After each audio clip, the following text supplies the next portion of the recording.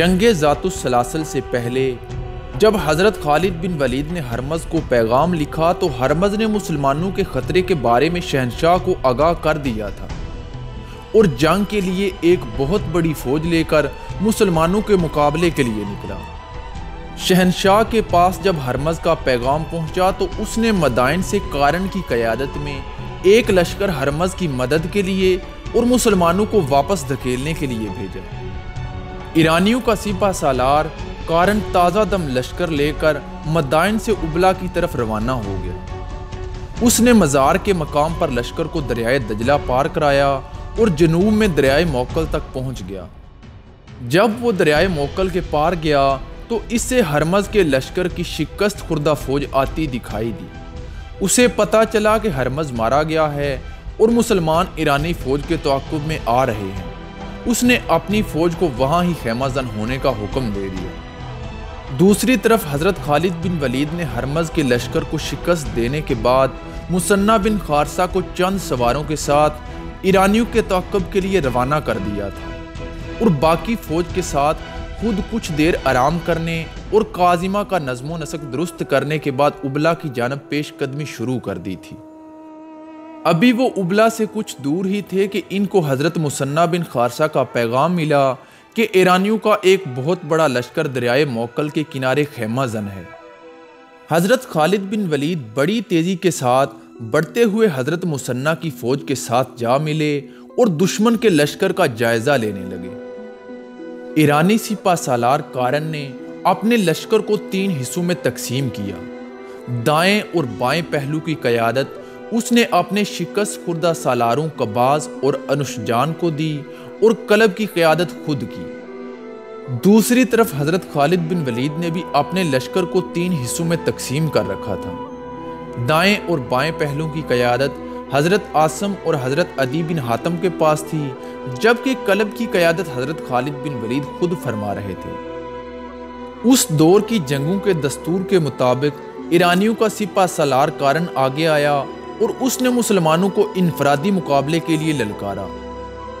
हज़रत कल बिन अल आशी उसके मुकाबले के लिए आगे निकले और कारण को कत्ल कर दिया इसके बाद दूसरे दो ईरानी सालार कबाज और अनुशजान भी मुकाबले के लिए आगे निकले और हज़रत आसम और हज़रत अदी बिन हातम के हाथों कत्ल हुए।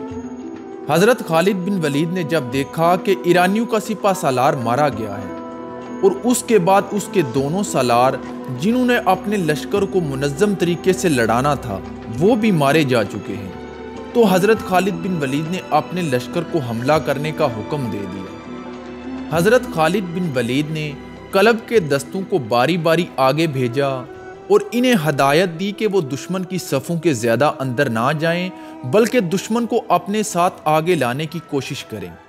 इसके साथ साथ हज़रत खालिद बिन वलीद पहलू को इस तरह फैलाते चले गए कि वो दुश्मन के पहलू पर जाकर हमला कर सकें।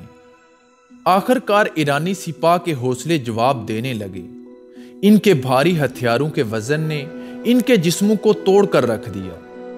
हज़रत खालिद बिन वलीद ने जब भांप लिया कि ईरानी लश्कर में सुस्ती के आसार नज़र आने लगे हैं तो उन्होंने अपने पहलू के सालारों हज़रत आसम और हज़रत अदी बिन हातम को हुक्म दिया कि अपने पहलू को बाहर ले जाकर बैक वक्त हमला कर दिया जाए। इसके साथ ही हज़रत खालिद बिन वलीद ने अपने कलब के पीछे रखे हुए महफूजा के दस्ते को दुश्मन के कलब पर हमला करने का हुक्म दे दिया। ईरानी लश्कर मुसलमानों के नए हमलों की ताब ना ला सका और भागना शुरू कर दिया।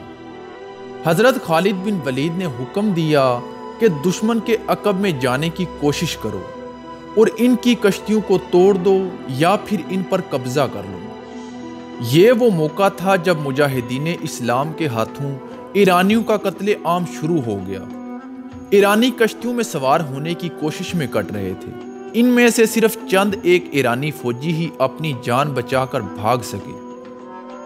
तकरीबन तमाम मुआरखों ने लिखा है कि इस मार्के में तीस हज़ार ईरानी फौजी मारे गए थे।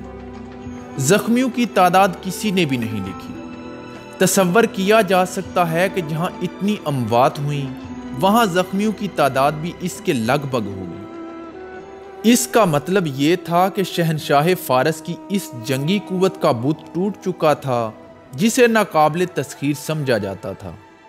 अल्लाह की तलवार ने कसरा की ताकत और गरूर पर कारी जरब लगाई थी, जिसने मदाइन में कसरा के ईवानों को हला डाला था।